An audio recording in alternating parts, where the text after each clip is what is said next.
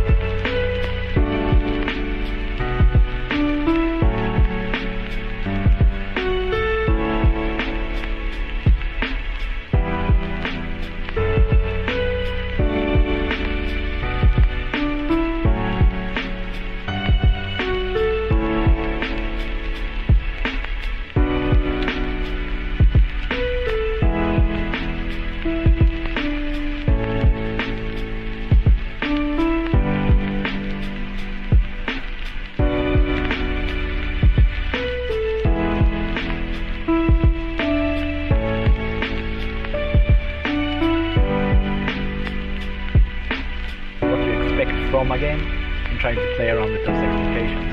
It's kind of the most fun part. We need to have exploding arrows. They're actually kind of fun.